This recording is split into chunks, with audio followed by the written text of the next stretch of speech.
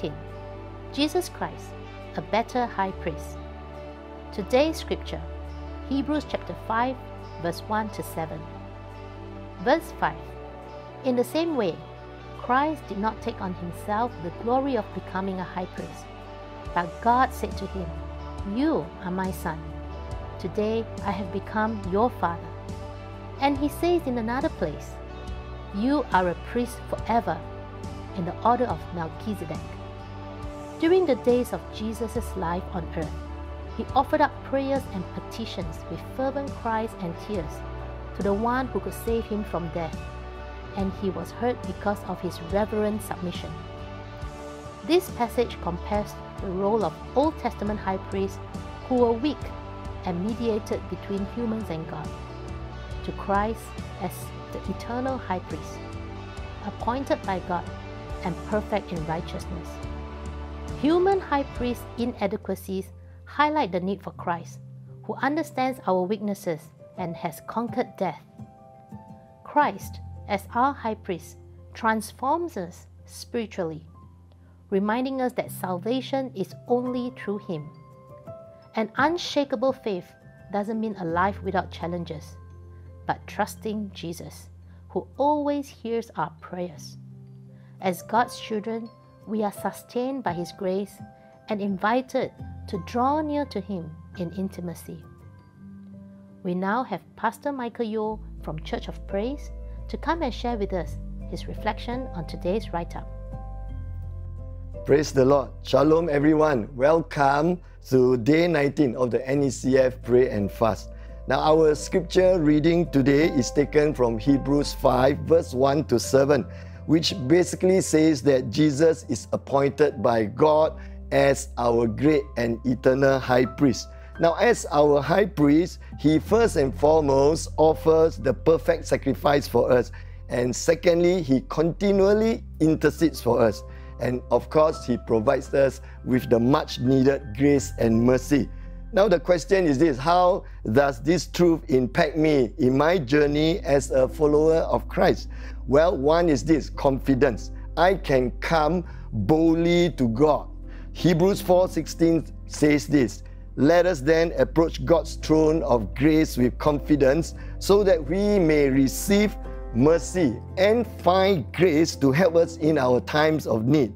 Now, because of my inability to live a perfect life, there will be always seasons of self-doubt or even self-condemnation. But truly, I am grateful today that Jesus stands ready to offer his mercy and grace. Now, one truth that always encourages me and I hope will encourage you approaching God's throne with confidence has nothing to do with our sense of worthiness, but it is more about His boundless grace and love for us. So, today, if self condemnation is dragging you down in any way, perhaps you may need to ask yourself this question Do you fully trust that Jesus is your eternal high priest and he will generously grant the grace and the mercy that you need in the most difficult of times? Second thing is compassion. I wish to not just live by the grace of God, but to live out the grace of God. Colossians 3:12 says, "Therefore, as God's chosen people, holy and dearly loved, clothe yourselves with compassion, with kindness, with humility, with gentleness and patience." Jesus, our high priest, embodies compassion and empathy. Likewise, you and I, we are called to reflect these qualities when we interact with others. So, as far as I'm concerned, I strive to show understanding towards others, even though it may be difficult at times, especially when it comes to repeated offenses. When the need arises, I offer support without condemnation. Someone says this people will not care what I know until they know that I care. The third thing about this is that the word clemency comes to mind. I am reminded to extend forgiveness like Jesus. Ephesians 4, verse 32 says, Be kind and compassionate to one another, forgiving each other, just as in Christ God forgave you. Just as Jesus, my high priest, offers forgiveness to me through his priestly ministry, we are called to extend the same grace to others. Someone put it this way we are most like beasts or animals when we kill. We are most like men when we judge. But we are most like God when we forgive. Jesus Christ, a better high priest, our reading for today. Now, in the face of life's challenges, could there be a greater hope than knowing that we have Jesus Christ as our eternal high priest? Jesus offers us a hope that is steadfast and sure, a grace that is boundless, and a mercy that is new every morning.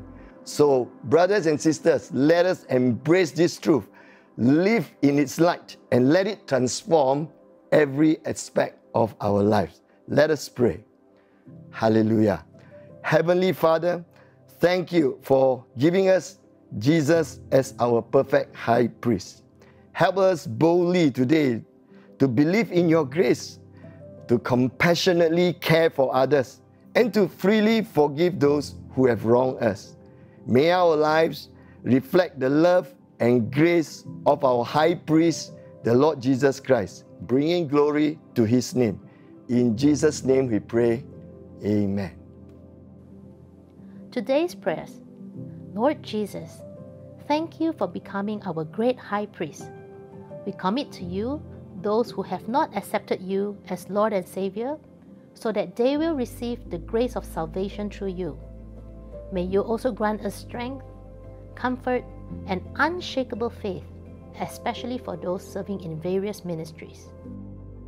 For the next three minutes, you may continue to respond to God's Word and pray also for the following 1.